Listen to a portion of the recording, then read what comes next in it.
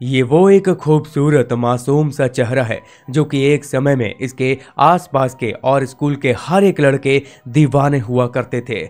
लेकिन इसकी यही मासूमियत, यही खूबसूरती इसके लिए कब नर्क का दरवाज़ा खोल देती है, इस बेचारी को भी नहीं पता चलता। और जब आप इसके साथ हुए उस हैवानियत को जानोगे, जो कि इसके एक वन साइड लवर ने अपने बाकी दोस्तों के साथ मिल करके पूरे चालीस दिनों तक किए यकीन मानो, मेरी आँखें नम हो गई इस स्क्रिप्ट को लिखते वक्त कि कोई इंसान इस हद तक भी गिर सकता है। वैसे इसके साथ घटी घटना इतनी भयानक है कि इसके दर्द को बयान करने के लिए भी शब्द कम पड़ जाए, क्योंकि इसके वन साइड लवर ने जुंको फ्रूटा के साथ हैवानियत करने के बाद उसे एक बड़े से ड्रम में डाल करके, ऊपर से सीमेंट कंक्रीट के मिक्सचर को डाल करके उसे जमा देता है। अब आगे बढ़ने से पहले गाइज़ आप सभी को मैं बता देना चाहता हूँ कि यहाँ पर मैं किसी भी तरीके की रियल घटना वाली फ़ोटो और वीडियोज़ नहीं दिखा सकता और ना ही मैं रिकमेंड करूँगा कि आप खुद से जाके सर्च करके देखें। और हाँ गाइज़ अगर आपका दिल विल कमज़ोर है तो इस घटना को पूरा सुनने के लिए अपने दिल को मज़बूत कर लो, क्योंकि हम यहाँ पर दिखाते हैं देश दुनिया की डार्क रियलिटी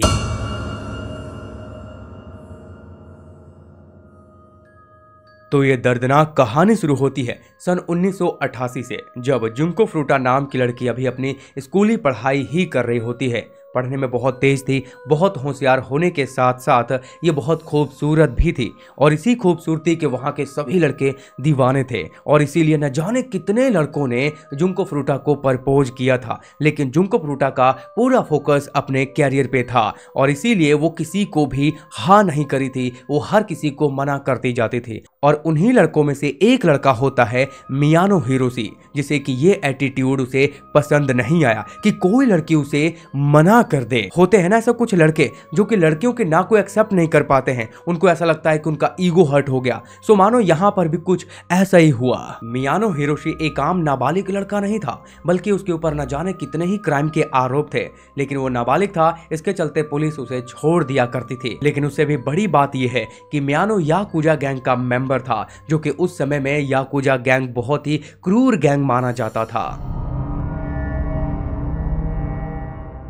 और इसीलिए मियानो हिरोसी के अंदर वो सब कर जाने तक की हिम्मत थी नाबालिग होते हुए भी, जिसके बारे में हम और आप करना तो छोड़ो, उसके बारे में कल्पना तक नहीं करते। तो 25 नवंबर 1988 को तकरीबन शाम का वक्त हो रहा था, जहाँ पे जुमको फ्रूटा अपने घर की ओर लौट रही होती है, कि रास्ते में एक मोटर चालक उसे हल्की सी टक्कर मार करके नीचे गिरा देता है और उसे फिर परेशान करने लग जाता है, कि इसी बीच मियानो हिरोसी एक हीरो की तरह एंट्री लेता है और उसे देखते ही वो मोटर चालक वहाँ से दुम दबा करके भाग जाता है, क्योंकि ये सब पहले से प्री प्लान होता है। क्योंकि मियानो ने जब जुंको फ्रूटा को रास्ते से गुजरते हुए देखा तो उसने अपने हारा फ्रेंड को कहा कि तुम अपने इस बाइक से जाओ, उसे हल्के से टक्कर मारना और उसे परेशान करना, ताकि मैं एक हीरो की तरह एंट्री ले सकूँ। और हुआ भी कुछ ऐसा। ये सब देख करके उसके अंदर थोड़ा सा ट्रस्ट बिल्ड हुआ, यानी कि मियानो के प्रति, और उसके बाद मियानो ने जुमको फ्रूटा को घर तक छोड़ने का ऑफ़र दिया और कहा कि मैं तुम्हें घर तक छोड़ देता हूँ। हो सकता है कि रास्ते में वो तुम्हें दोबारा तंग करे। अब मियानो ठहरा जुनको फ्रूटा का क्लासमेट और यहाँ पर जो उसने किया था, उससे भी उसका और ट्रस्ट बिल्ड हो गया और इसीलिए जुनको फ्रूटा बिना कुछ सोचे समझे उसके साथ चल देती है। और अब यहीं से वो पूरा गेम शुरू हो जाता है। मियानो सबसे पहले जुनको फ्रूटा को एक खाली गोडाउन में लेकर के जाता है। वहाँ ले जाने के बाद सबसे पहले वो खुद की सच्चाई बताता है कि अभी जो भी कुछ हुआ, वो बाइक वाला जिसने टक्कर मारी, वो मेरा ही एक फ्रेंड था। ये सब कुछ प्री प्लान है और हम दोनों एक याजुका गैंग के मेंबर हैं। और अगर तुमने यहाँ पे शोर शराबा किया और मेरी बात नहीं मानी तो मैं तुम्हें यहीं पे से मार दूँगा। और ये सारी बातें सुनने के बाद बेचारे जुंको फ्रूटा बहुत ज़्यादा डर जाती है, क्योंकि ऑलरेडी रात भी काफ़ी ज़्यादा हो चुकी थी और साथ में वहाँ दूर दूर तक कोई भी नहीं था, क्योंकि वो एक खाली गोडाउन होता है। अब बेचारी बेबस हो चुकी थी और उसी डर का फ़ायदा उठा करके उस मियानू ने उसके साथ कर्म किया, बेचारी बेबस रही और कुछ ना कर पाए लेकिन यहाँ पर यह कहानी खत्म नहीं होती है गाइज़ ये कहानी तो यहाँ से शुरू होती है, जिसके बाद मियानो जुंकू फ्रूटा को एक टैक्सी के माध्यम से होटल में लेकर के जाता है। होटल में ले जाने के बाद सबसे पहले उसी कर्म कांड को वहाँ पर भी दोहराता है और जब उसका थोड़ा मन भर जाता है तो सबसे पहले नूबू हारा उस फ्रेंड को कॉल करता है जिसने कि टक्कर मारी थी और उसे कॉल करके ये सारी बात बताता है जो उसने अभी कर्म कांड किया था। ऐसे बताता है, जैसे कि मानो उसने कोई बहादुरी का काम किया हो और ये सारी बातें सुनने के बाद नूबू हारा और उसके साथ मौजूद दो और लड़के, जो अगुराव और याशुशी, ये कहते हैं कि तुम उसे अभी छोड़ना मत, हम भी आ रहे हैं। और इधर मियानो चालाकी से जुंको फ्रूटा के नोटबुक से उसके घर का एड्रेस निकाल लेता है और उसे धमकी देना शुरू कर देता है कि अगर तुमने मेरी बात नहीं मानी या फिर यहाँ से भागने की कोशिश की तो मुझे तुम्हारे घर का एड्रेस पता है। हमारे गैंग के लीडर, हमारे गैंग के मेंबर तुम्हारे घर वालों को जान से मार देंगे। और ये बातें सुनने के बाद जुंको फ्रूटा और भी ज़्यादा बेबस हो जाती है। वो चाह कर भी भागने की कोशिश तक नहीं कर पाती। इसीलिए जब वो चारों आते हैं तो उसे अपने घर यानी कि नूबू हारू के घर उस लड़की को लेकर के चले जाते हैं। दरअसल नूबू हारू के जो माता पिता होते हैं, वो घर पे बहुत कम ही रहा करते थे। काम काज के सिलसिले से ज़्यादातर बाहर रहते थे। कभी कदारी उनका आना जाना घर पे हुआ करता था और यहाँ तक बात पहुँचते पहुँचते तकरीबन 26 नवंबर की अब सुबह होने को थी। और इसीलिए दूसरी ओर जुंकू फ्रूटा के पेरेंट्स बहुत ज़्यादा परेशान होने लगे कि अभी तक वो घर क्यों नहीं आई? और इसीलिए पूरी जाँच पड़ताल शुरू हो गई, हर जगह से पूछ पड़ताल करी गई, लेकिन कहीं से भी उसका कोई अता पता नहीं चला। और ऐसे ही छानबीन करते करते 26 नवंबर का दिन और रात बीत गया। अब 27 नवंबर की सुबह होती है तो बिना किसी देरी के उसके पेरेंट्स जुंको फ्रूटा के लापता होने की रिपोर्ट थाने में लिखवा देते हैं। और जैसे ही ये खबर मियानो और उसके बाकी तीन दोस्तों को पता चलती है तो वो जुंको फ्रूटा को डरा धमका करके घर पे कॉल लगवा करके ये कहलवा देते हैं कि मैं एक अपने फ्रेंड के यहाँ आई हुई हूँ, बताना भूल गई थी, मैं बिल्कुल ठीक हूँ, सही सलामत हूँ तो आप जितना जल्दी हो सके, आप थाने से मेरे लापता होने की रिपोर्ट वापस ले लें। अब ये बातें सुनने के बाद उनके पेरेंट्स को भी तसल्ली हो गई कि हाँ मेरी बेटी जहाँ पर भी है, बिल्कुल सही सलामत है और वो बिना देरी के रिपोर्ट वापस ले लेते हैं। और इधर मियानो और उसके बाकी के तीनों दोस्त मिलकर के इधर जुंको फ्रूटा के साथ जो मन में आया, वो करना शुरू कर देते हैं। मतलब आप जो सोच नहीं सकते, वो करना शुरू कर देते हैं। और नुबू हारू का एक घर घर ना रह करके बल्कि एक अयासी का अड्डा बनकर रह जाता है। क्योंकि वहाँ पर अब उसके गैंग के मेंबर भी आना जाना शुरू कर देते हैं। हर कोई ऐरा गहरा आता और उसके साथ उस दुष्कर्म को अंजाम देता और ये सिलसिला ऐसे ही चलता रहता। लेकिन जब नुबूहारा के माता पिता घर पे आते तो उसे ना पहले ही डरा धमका के ये बता दिया जाता कि जब हमारे माता पिता आएँगे तो तुम्हें एज ए मेरी गर्लफ्रेंड की तरह ट्रीट करना है कि तुम्हें यह दिखाना है कि तुम मेरी गर्लफ्रेंड हो। गर्लफ्रेंड की तरह ट्रीट करना है। अब बेचारी वो डरी, सहमी सी, इसीलिए उसे जैसा कहा जाता, वैसा करती जाती। अब ऐसा नहीं है कि नूबू हारू के माता पिता को इसके बारे में पता नहीं चलता या फिर वो इस बात से अनजान होते हैं।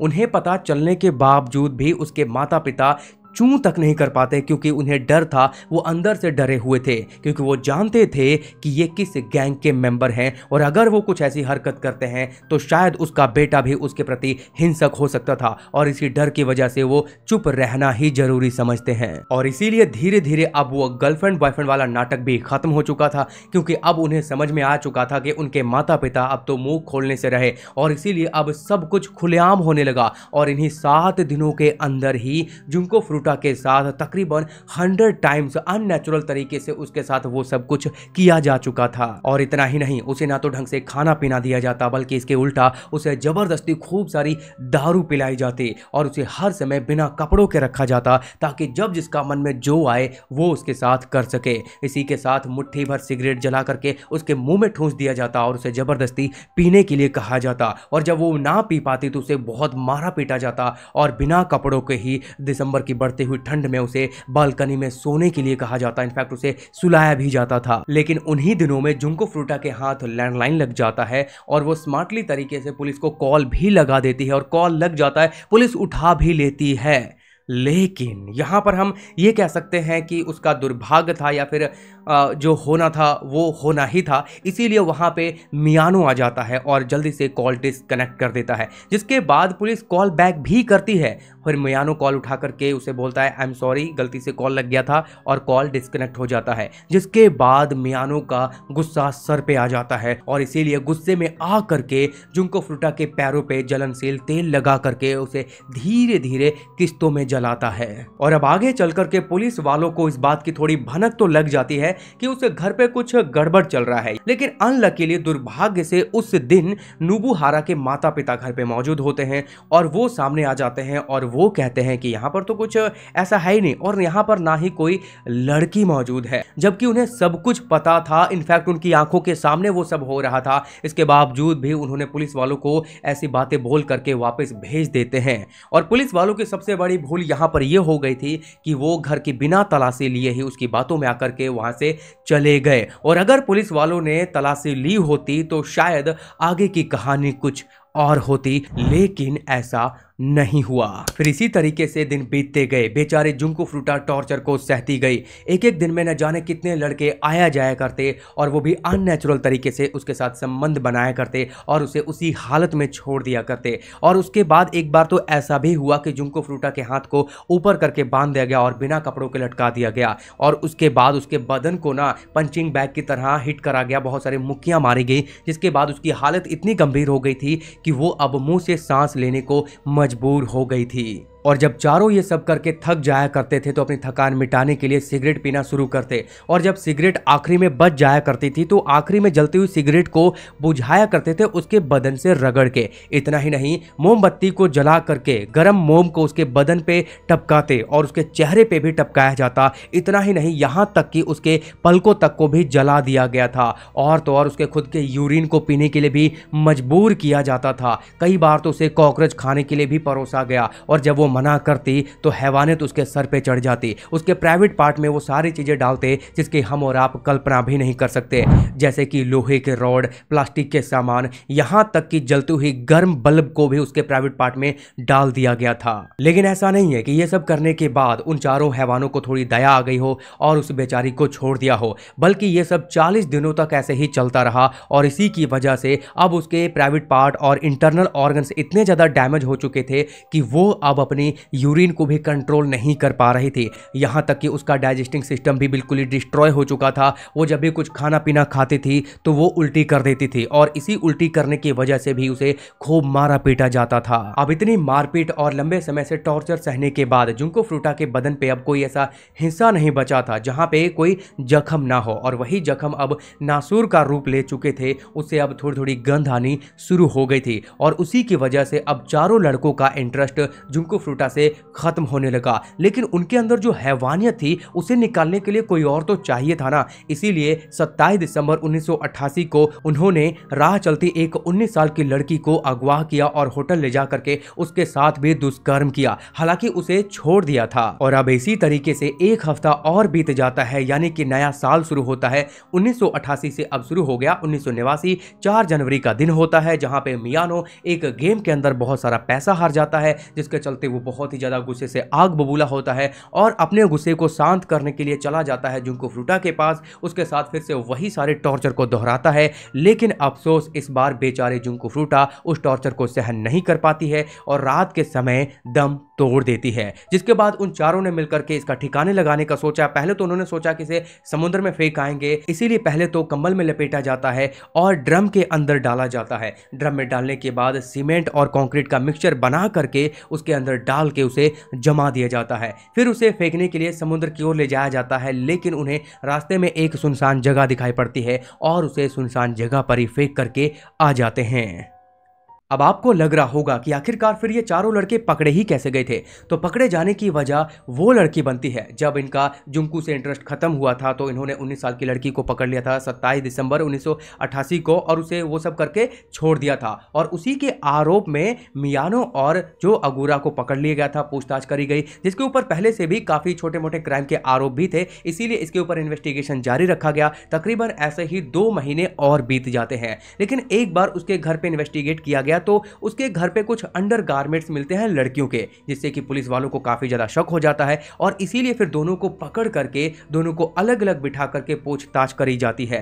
पुलिस वाले यहाँ पे थोड़ा दिमाग लगाते हैं और सीधे तौर पे मियानो से कहते हैं कि मुझे पता है कि तुमने एक मर्डर किया है। अब ये बात सुनते ही मियानो घबरा जाता है। उसे एक बार को तो लगा कि शायद जो अगोरा ने उधर बैठे हुए सारी सच्चाई बता दी है, इसीलिए अब उसने सोचा कि सच्चाई छुपाने का कोई फ़ायदा नहीं है, मुझे भी बता देना चाहिए और इसीलिए वो सारी बात बताता है। और पुलिस वालों को उस जगह पर लेकर के जाता है जहाँ पर उसने ड्रम को फेंका था। पुलिस वाले ड्रम को देख करके हैरान हो जाते हैं और ड्रम को काट करके जब देखा गया तो पता चला कि उसके अंदर एक लड़की की है, जिसकी पहचान कर पाना अब मुमकिन नहीं था, लेकिन फिर भी फिंगरप्रिंट के ज़रिए उसकी पहचान कर ली गई। पुलिस वाले इस बात से हैरान थे कि जिसकी वो तलाश कर रहे थे, वो वो लड़की नहीं थी, बल्कि वो थी जुंको फ्रूटा लेकिन दुख की बात तो यहाँ पर यह थी कि जब इन्हें कोर्ट में पेश किया गया तो यहाँ पे नाबालिग का रोना रो करके पहले तो सत्रह साल की सजा दी गई और फिर ज़्यादा ज़ोर दबाव डालने पर बीस साल की। इसके साथ जो भी कोई शामिल थे, उन्हें भी जेल हुई। और यहाँ पे यह भी कहा गया कि नाबालिग होने के कारण इसे ज़्यादा इन्हें सजा दी ही नहीं जा सकती। और एक इंपॉर्टेंट बात,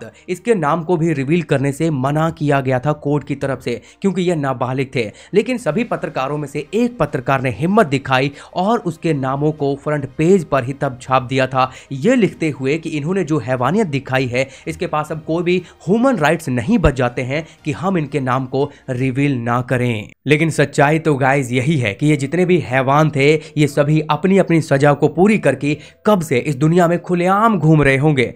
लेकिन मेरा मानना है कि वो नाबालिग हो, चाहे बालिक ऐसे लोगों को जीने का अधिकार तो है ही नहीं। वैसे आप क्या कहना चाहते हैं इसके ऊपर? अपने महत्वपूर्ण राय कॉमेंट में ज़रूर लिखें।